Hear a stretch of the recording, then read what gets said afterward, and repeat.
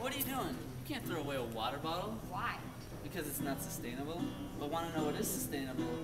The Matt Moberg concert this Thursday night at Billy Willie's Pub. How is a concert sustainable and who is Matt Moberg? Well, we're only promoting the concert through emails and word of mouth, and we're not using any paper advertising. And also, at Brother Willie's Pub, we're going to have limited lighting to save energy. And Matt Moberg, he's a local songwriter from the cities. Well, who else is going to be there? Well, in addition to Matt Moberg, there are going to be three student bands Rodeo Clown, Kelsey Minten, and Lauren Mueller, and the Van Gogh Bros with friends. How much does it cost to get in? It's going to be $2 at the door or a non perishable food item.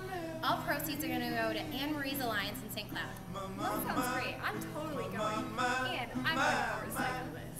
Great. Staring at the